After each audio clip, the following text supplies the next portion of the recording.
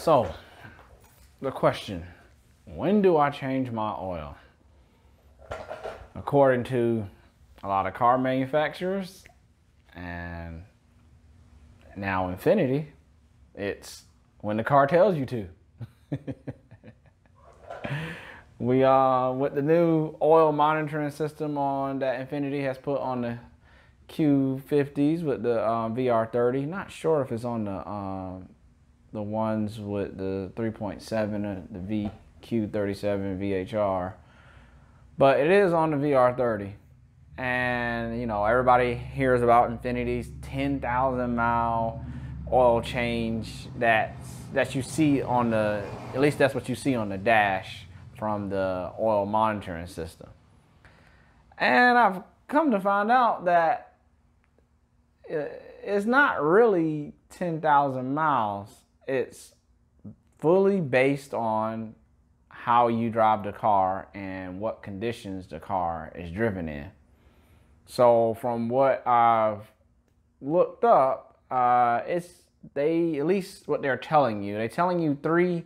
They're looking at three different parameters: the cam shaft position sensor, your RPMs, your coolant temperature, and that's saying those are getting fed into some algorithm, and it's doing a conservative prediction of how many miles you have left before the oil is in a um, deteriorated state.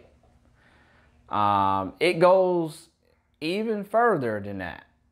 It actually stores the last three times you change your oil, what odometer or or uh, how many miles you were at your car had on it when you changed it. So if you change it at at ten thousand, it saved that you changed your oil at ten thousand at 10,000 miles, or you know, or if you live somewhere else, whatever um, kilometers um, you change your oil, and it saves the last three.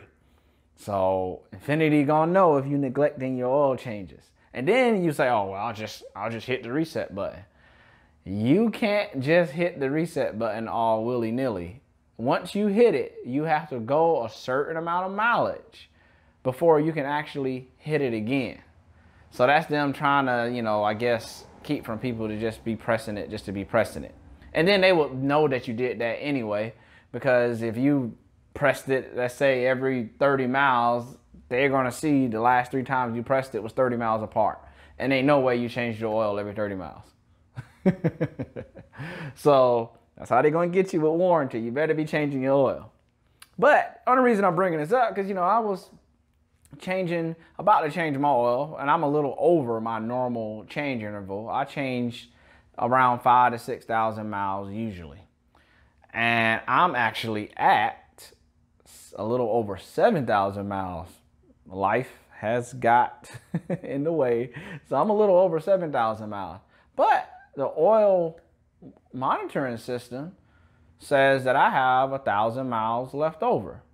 So that means the oil monitoring system assumed that my choice of oil, driving style, well, I guess the choice of oil don't really matter so much, but my based on my driving style, that I really have about 8,000 miles. I can go 8,000 miles on my oil. And I was like, okay. I was like, so it's not just counting down to 10, 10 to, to uh, 10,000 miles like, you know, people kind of think. It's actually doing a calculation. Just, you know, based on your driving style and then those three parameters that they actually say, but it's probably more than just those, you know, just your camshaft position sensor and um, RPM and coolant temperature. It's, it's definitely more than that. But anyway, I just wanted to give y'all that little insight on the oil monitoring system. And if you haven't already, like and subscribe.